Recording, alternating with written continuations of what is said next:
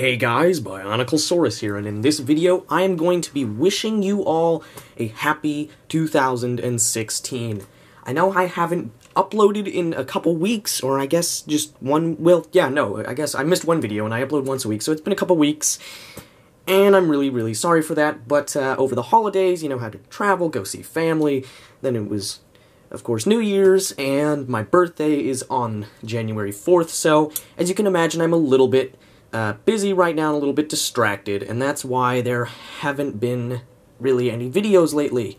Um, however, as you can see right in front of you, this is going to be the subject of my next review coming out exactly one week from now, uh, next Friday night.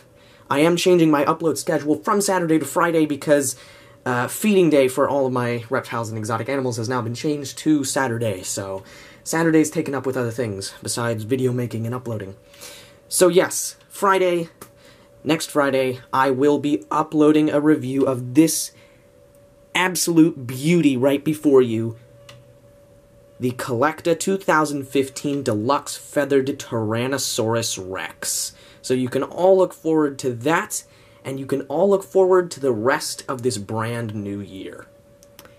That is all I have to say. Thank you for watching, and make sure to tune in for this guy's review coming up real soon. Bioniclesaurus signing out.